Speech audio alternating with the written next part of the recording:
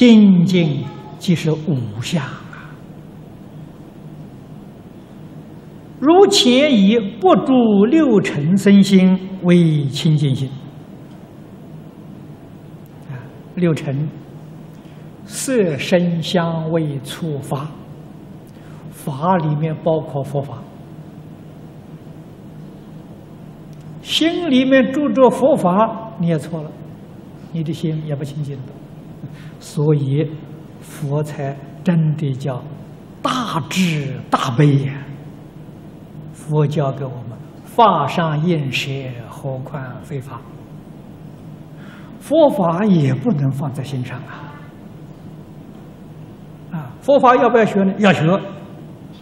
经要念，不放在心上。心要空，心不可以有染著。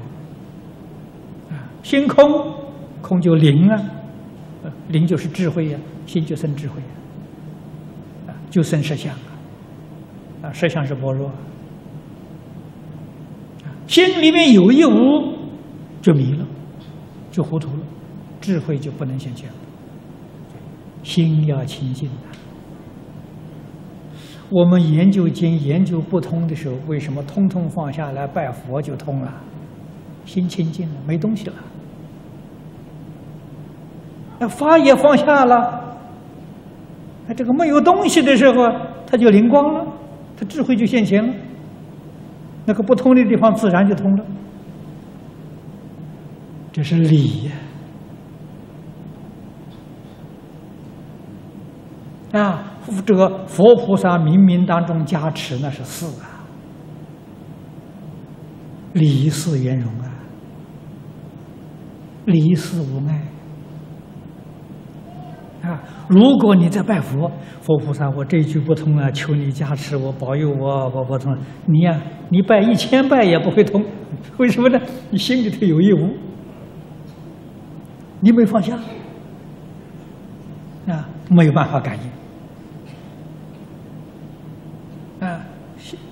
经常有不同的方向，不想了，啊，恭恭敬敬拜佛，啊，以诚敬心去去拜，一念一个妄念都没有，啊，拜上个三百拜，大概差不多要一个半钟点了，啊，心定下来，静下来，一个半钟点，智慧就生了，智慧就现前了。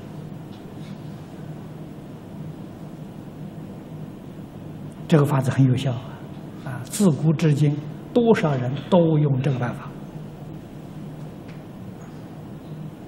嗯，所以不可以住六尘身心，啊，法尘也包括在其中。